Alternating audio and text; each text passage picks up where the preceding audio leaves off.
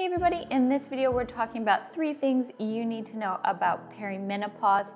We're going to base our discussion around this book by Lara Briden. It's called The Hormone Repair Manual, Every Woman's Guide to Healthy Hormones After 40. In particular, we're going to talk about the stages of perimenopause.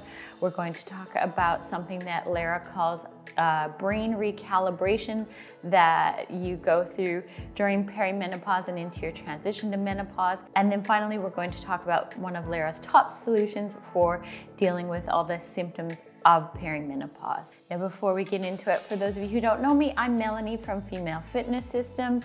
And on this YouTube channel, we talk about fitness, nutrition, and longevity. And we talk a lot about what's happening to your brain and body after 40. So if you're new here, consider subscribing to my channel so that you catch future videos from me.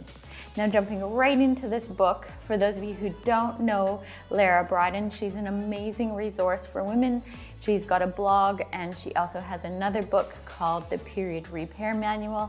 I've used that book so much in my own research and in my own practice with my clients.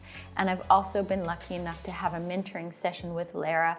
So I'm a huge fan of her work, and I think that this book is a great resource for women after 40, as is her blog. So make sure you check them both out. Now let's get into those three things that you need to know about perimenopause based on what Lara has written in this book.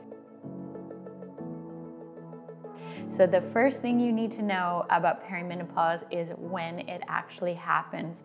I know this is a confusing thing for a lot of women because even myself, you know that it happens in your 40s, but there's no test or no real clarity around when it starts. And in this book, Lara explains the stages, which will give you more clarity as to whether or not you may be in perimenopause, and if you are, where you might be along the stages of it. So basically, she says that perimenopause takes approximately seven years for most women, and it starts with what she calls very early perimenopause. And in this stage, you'll still have cycles, but you're going to be at the mercy of some changing hormones. And the usual state of very early perimenopause is lower progesterone and higher fluctuating estrogen. And that creates a lot of the symptoms that we experience in our 40s, like heavy periods and mood swings, and sleep disturbances. And then you have the second and third phases of perimenopause, which she calls early to late transition because this is just before you transition into menopause. These stages together can last about three years. And during this stage, your estrogen is fluctuating even more, and that can cause things like the hot flushes and the night sweats that so many women start to experience in their late 40s. And near the end of these two stages, you'll start to miss more periods, or your cycles will become 60 days as a sign that you're nearing menopause. And then finally, the final stage is your transition to menopause, which is defined as a year without bleeding. So those are the stages of perimenopause as laid out in the book. And I think that's really helpful for a lot of us who just aren't sure where we are or how long it takes. So that's one of the really helpful things about the book is that it's going to help you figure out what's going on and where you are in the whole transition through to menopause. Now, the second thing she talks about and what you need to know about perimenopause is how the brain changes during that time.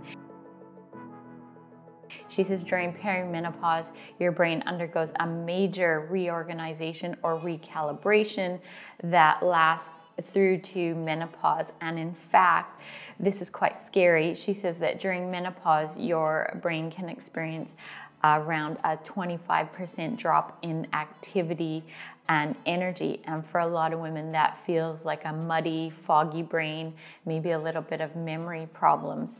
She says the good news is that if you look after your health, and in particular, managing things like your insulin and making sure that you're building muscles and just doing all those things to support healthy aging, that you will get through this transition and your brain will recalibrate and start to work well again.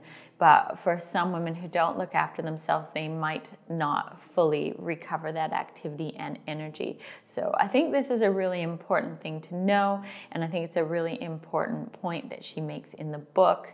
For those of you who don't know, while I'm a personal trainer and nutritionist, I also have a psychology degree and for me, how the female brain works and ages is just such an interesting and crucial thing to understand.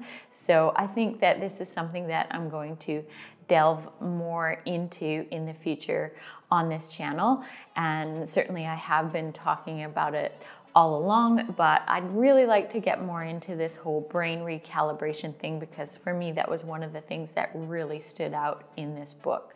And then the third thing that you should know about perimenopause, based on this book, and what probably a lot of you are wondering, is how the heck do you fix how you're feeling and what's going on? Now, Lara does offer some natural options, probably not as many as she talks about in her first book, The Period Repair Manual, but she goes a lot into progesterone. And so that's the third thing I wanted to cover in this video, the role of progesterone and progesterone therapy in helping you manage your perimenopausal symptoms. So in this book, she's not talking about synthetic progesterone like the types found in the pill or the hormonal IUD. She says those are actually progestins and they're different chemically than the progesterone in your body. Instead, she's talking about oral micronized progesterone, which comes in a capsule form. It's known as prometrium in some places, and in some places, it's also known as Utrogestan. I'm not sure if I'm saying that right, but I'll put the names on the screen for you so you can Google them if you want. Now, I think that she does a really good job throughout the book of explaining the role of hormonal replacement therapy in managing your perimenopausal symptoms and how you might use them based on the symptoms that you're having. But one of the things that is a struggle for me is that I know that it's very hard for a lot of women to actually access this oral micronized progesterone. So the problem with it is that it's recognized as being for hormonal replacement for menopausal women, so women who aren't cycling anymore. And definitely here in New Zealand, that's something that I've run up against. So I have discussed this option with my doctor because I am so aware of Lara's work and I wanted to try it myself. And the first thing that happened is that the doctor wasn't even aware that there was such a thing. In fact, she said there was no such thing. So I had to go to a pharmacy and get an insert for her and drop it off. And then when she called me, she said she couldn't prescribe it anyway because uh, the dosage of it would be really high and that just wouldn't work. I would have to take so much of it. And the thing is that she was misunderstanding how it was used and how it differed from the synthetic progestins that are in other things like the uh, hormonal IUD and like Provera. And then even when I explained to her the dosage, she explained that she couldn't prescribe it to me anyway because she had to be guided by the regulations here, which say that it's only for postmenopausal hormone replacement therapy.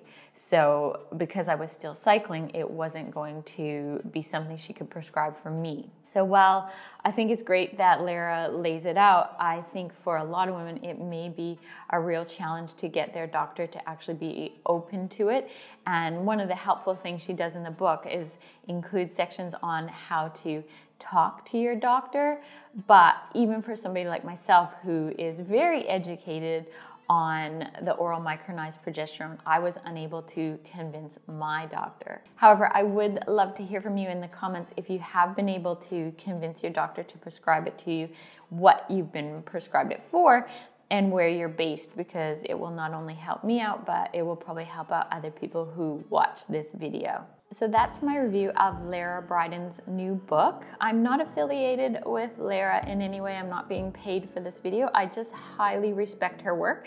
And I do think that this is a great reference for ladies who really want to understand what's going on with their bodies. And given that you may have a challenge when you're trying to talk to your doctor about potential solutions, this book would be a fantastic starting place and a fantastic reference for you. I hope you found this video helpful. I love hearing from you in the comments. I'll answer questions there. Don't forget to subscribe to my channel if you haven't already so you catch future videos from me. Thanks for watching and I'll see you again next time.